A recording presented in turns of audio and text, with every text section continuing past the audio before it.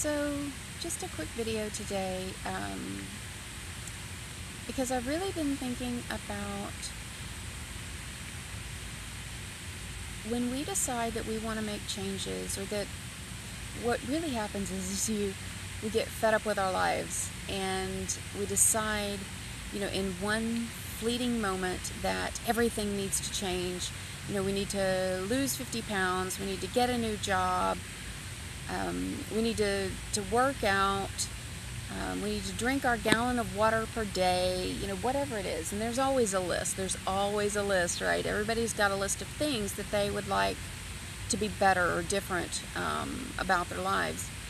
Um, the problem is is that when you hit that fed up spot you make these or make an attempt to make these large and sweeping changes. Like starting monday morning i'm going to uh, you know run five miles before breakfast and i'm going to um, i'm going to lose 50 pounds by the end of the week and i understand that your your list is probably not as uh, i would say irrational as trying to uh, lose 50 pounds in a week but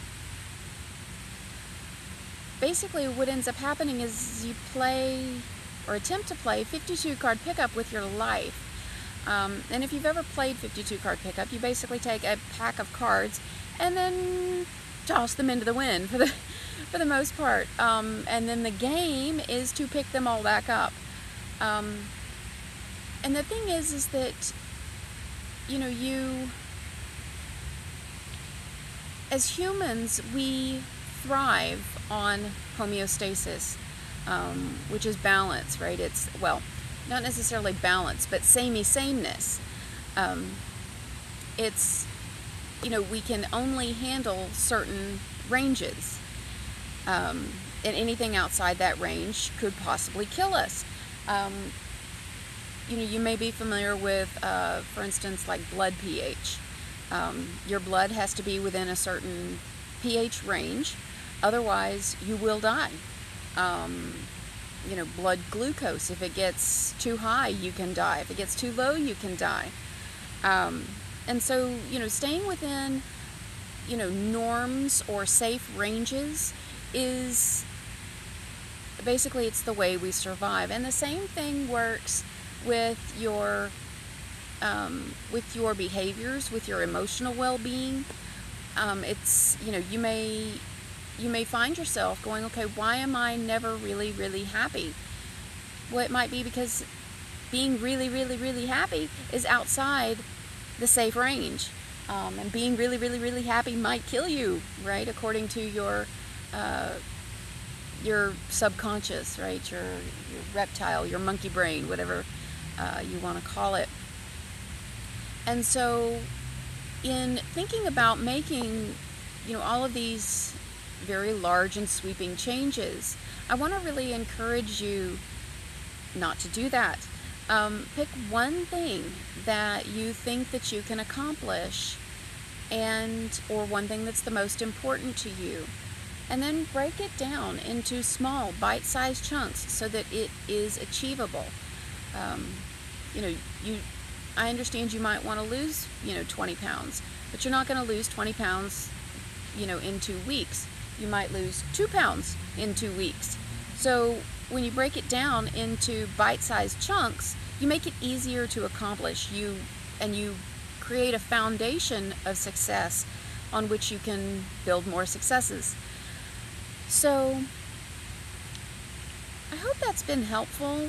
Um, I really, like I said, I've I've been working with some people lately and we are, you know, dialing down and, and getting really specific about what it is that we want to accomplish.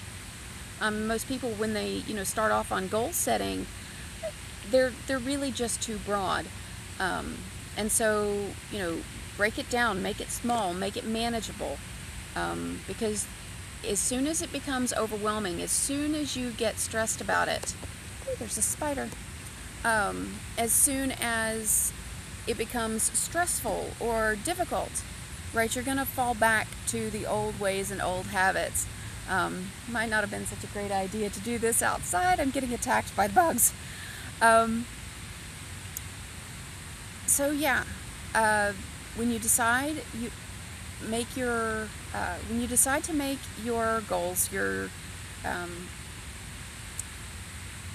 make sure that they're as small as they need to be um, so that they're easy to achieve. Um, especially if you are or have been in the habit of creating very large um, very broad very um, effort driven goals. Um, if your if your goals require a lot of effort on your part that is even more reason to break it down and make it as small as you possibly can because um, the more effort that you have to put towards it um, the harder it is for you to accomplish. So when you break it down into its smallest pieces and even smaller than that if you can then you enable you know you make it so that there's less effort required. And um, that's going to help you accomplish it. All right i'm going to get out of here because i've got spiders all over me and ants. I'll talk to you guys soon. Bye